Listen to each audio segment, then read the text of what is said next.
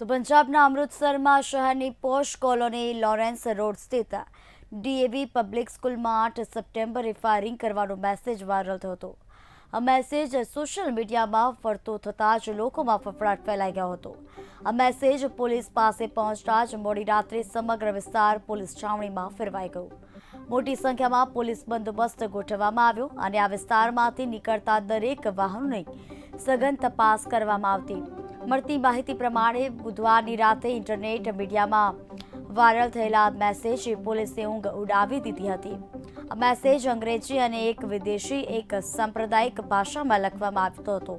તેમાં લખવામાં આવ્યું હતું કે, અમારા કેટલાક લોકો આઠ સપ્ટેમ્બરે ડીએવી પબ્લિક સ્કૂલમાં ગોળીબાર કરશે. આ ફાયરિંગ તેમની દેશા સ્કૂલના નિયમોને તોડવા માટે કરવામાં આવશે. આ મેસેજ વાયરલ થતાં જ કમિશનરેટ પોલીસ એક્શનમાં આવી ગયા હતી.